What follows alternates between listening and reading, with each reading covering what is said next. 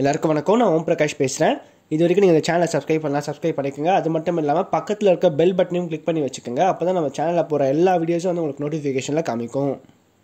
இந்த வீடியோவில் நம்ம என்ன பார்க்க போகிறோம் அப்படின்னா மீன ராசியில் பிறந்தவங்களுக்கு ஏழரை சனியினுடைய விளையாட்டுகளை பற்றி பார்க்க போகிறோம் அதாவது சனி வந்து அடுத்த ஒரு ஏழு வருஷம் ஏழரை வருஷத்தில் ஒரு வாழ்க்கையில் என்ன பலன்களை கொடுக்க போகிறான்னு சொல்லிட்டு பார்க்க போகிறோம் அதே மாதிரி ஏழரை சனி எப்போ முடிய போகுதுன்னு சொல்லிட்டு நிறைய பேர் கேட்டிருந்தீங்க.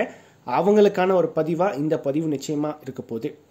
மீனராசி மீனராசி அதிபதி யாருன்னு பார்த்தீங்கன்னா குரு பகவான். மீனராசி காலபுருஷனுக்கு பன்னெண்டாவது ராசியாக வருதுங்க. நட்சத்திரங்களை பொறுத்த வரைக்கும் மீன ராசியில் போரட்டாதி நாலாம் பாதமும் உத்திரட்டாதி முதல் நான்கு நட்சத்திர பாதங்களையும் ரேவதி முதல் நான்கு நட்சத்திர பாதங்களையும் கொண்டுள்ள ஒரு ராசி தாங்க இந்த மீன ராசி. மீன ராசிக்காரங்களை பொறுத்த வரைக்கும் கடந்த ரெண்டாயிரத்தி இருபத்தி மூன்று ஜனவரி மாதம் வந்து சனி பயிற்சி நடந்துச்சுங்க. அதாவது திருக்கணித பஞ்சாங்கப்படி சனி பயிற்சி கடந்த ரெண்டாயிரத்தி இருபத்தி மூணு ஜனவரி மாதம் நடந்துச்சு.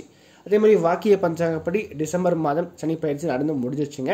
இதில் எது பெஸ்ட் அப்படின்னு பார்க்கும்போது திருக்கணித பஞ்சாங்கம் தான் சரியாக வருது. ஆனால் கோயில்களில் வாக்கிய பஞ்சாங்கம் ஃபாலோ பண்ணிட்டு இருக்காங்க ஆனால் திருக்கணித பஞ்சாங்கப்படி நீங்கள் பார்க்கும்போது இந்த கிரகம் இந்த நேரத்தில் இந்த இடத்துல தான் இருக்குன்னு சொல்லிட்டு நம்ம எக்ஸாக்டாக வந்து பலன்கள் எடுக்க முடியும். ஸோ அந்தளவுக்கு கரெக்டாக இருக்குது அக்யூரேட்டாக இருக்குது ஸோ அந்த வகையில் பார்க்கும்போது சனி பயிற்சியாகி ஒரு வருஷம் ஆயிருக்கு. ஏழரை வருஷம் ஏழரை சனி இப்போ தான் ஆரம்பிச்சிருக்கு. பொதுவாக இந்த ஏழரை சனியை வந்து மூன்று பகுதியாக நம்ம பிரிப்போம். அதாவது முதல்ல வந்து பார்த்தீங்கன்னா பன்னெண்டாம் இடத்துக்கு சனி பகவான் வருவார். அடுத்து ராசிக்குள்ளே வருவார். அடுத்து ராசிக்கு இரண்டாம் இடத்துக்கு வருவார். இந்த பன்னெண்டாம் இடத்துக்கு வரக்கூடிய சனியை வந்து விரைய சனின்னு சொல்லுவோம். ராசிக்குள்ளே வரக்கூடிய சனியை வந்து ஜென்ம சனின்னு சொல்லுவோம். அடுத்து ராசிக்கு இரண்டாம் இடத்துக்கு வரக்கூடிய சனியை வந்து பாத சனி அப்படின்னு நம்ம சொல்லுவோம். ஸோ இதில் வந்து பார்த்தீங்கன்னா எந்த பகுதி கொஞ்சம் அதிகமான கஷ்டத்தை கொடுக்கும் அப்படின்னு பார்க்கும்போது ஃபஸ்ட்டு ரெண்டரை வருஷம் கடைசி ரெண்டரை வருஷம் பெரிய அளவுக்கு பாதிப்பை கொடுக்காது. ஆனால் அந்த நடுவில் இருக்கக்கூடிய அந்த ரெண்டரை வருஷம் இருக்குது பார்த்தீங்களா அதுதான் கொஞ்சம் அதிகமான கஷ்டத்தை கொடுக்கும். ஏன்னா உங்கள் ஜனனகால ராசி அதாவது உங்கள் ராசி அதாவது உங்கள் ஜா ஜாதகத்தில் சந்திரன் எங்கே இருக்காரோ அதுதான் ஜனகால ஜனனகால ராசி அப்படின்னு சொல்லுவோம். ஸோ அந்த சந்திரன் மேலே இந்த சனி பகவான் பயணிக்கும் போது குறிப்பாக உங்கள் சுய நட்சத்திர சாரம் இருக்குது பார்த்தீங்களா நீங்கள் பிறந்த நட்சத்திரம் இருக்குது பார்த்தீங்களா அந்த நட்சத்திரத்தின் மேலே சனி போகக்கூடிய காலகட்டங்கள் கொஞ்சம் அதிகமான மனக்குழப்பம் மன அழுத்தம் கொஞ்சம் ஸ்ட்ரெஸ்ஸு குடும்ப வாழ்க்கை திருமண வாழ்க்கை வேலை சம்மந்தப்பட்ட விஷயங்களில் கொஞ்சம் பாதிப்புகள் இருக்கும். அது எல்லாருக்குமே இருக்குமானா? கண்டிப்பாக எல்லாருக்குமே கிடையாதுங்க. உங்கள் சுய ஜாதகத்தில் நடக்கிற தசா புக்தியை நீங்கள் முக்கியமாக பார்க்கணும். குறிப்பாக உங்களுக்கு வந்து பார்த்தீங்கன்னா ஒரு யோகாதிபதிகள் தர்சனம் நடக்குது அல்லது லக்னாதிபதி தர்சனம் நடக்குதுன்னு வச்சுக்கோங்களேன் கண்டிப்பாக இந்த ஏழரை சனி பெரிய பாதிப்பை கொடுக்காது. மாறாக உங்கள் ஜாதகத்தில் உங்கள் லக்னத்துக்கு ஆறு எட்டு பன்னெண்டாம் அதிபதிகள் தர்சனம் நடக்குது. கொஞ்சம் சாதகம் இல்லாத கிரகத்தோட தசை நடக்குதுன்னு வச்சுக்கோங்களேன். அப்போது இந்த ஏழரை சனி கொஞ்சம் அதிகமான பாதிப்பை வாழ்க்கையில் ஏற்படுத்தும். ஸோ இவங்க தான் கொஞ்சம் கவனமாக இருந்துக்கணும் இந்த ஏழரை சனியில்.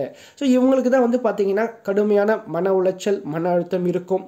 திருமணம் ஆக்கியிருந்தால் திருமண வாழ்க்கையில் சண்டை பிரிவு ஒரு ஈகோ அப்படின்ற விஷயம் அதிகமாக இருக்கும்.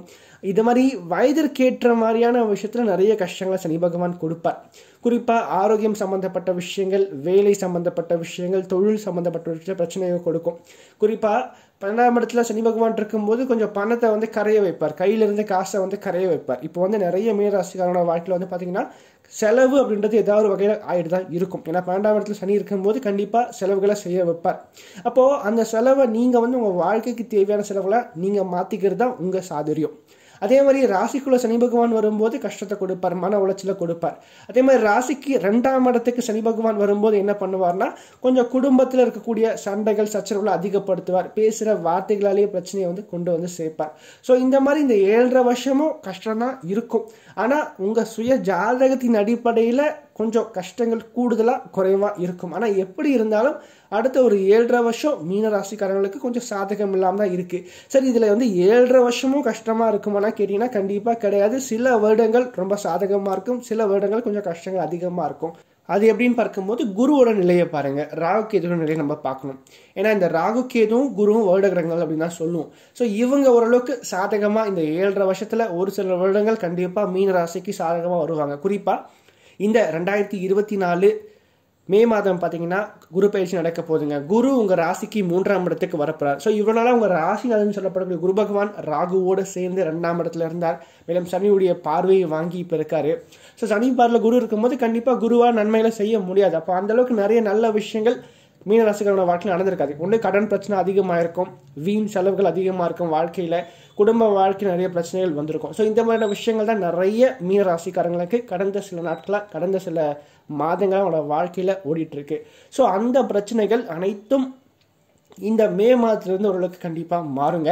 அடுத்த அதாவது இந்த சனி பயிற்சி நடக்கிற வரைக்கும் ரெண்டாயிரத்தி இருபத்தி ஐந்து மார்ச் மாதம் சனி பயிற்சி நடக்க போது இந்த சனி பயிற்சி வரைக்கும் கண்டிப்பாக இந்த குரு பயிற்சி உங்களோட வாழ்க்கையில் ஒரு சேஃப் ஜோன் அப்படின்னு சொல்லலாம். ஏன்னா குரு பார்த்தீங்கன்னா ராசிக்கு ஏழாம் இடம் ஒன்பதாம் இடம் பதினோராம் இடம் லாபஸ்தானத்தை பார்க்குறாரு. அப்போ திருமண வாழ்க்கையில் இருந்த பிரச்சனைகள் சரியாகும். குடும்ப வாழ்க்கை நல்லா இருக்கும் அதே மாதிரி பார்த்தீங்கன்னா திருமணமாகி புத்திர பாக்கியம் இல்லாதவங்களுக்கு அந்த புத்திர பாக்கியத்தை குரு பகவான் ஏற்படுத்தி கொடுப்பார்.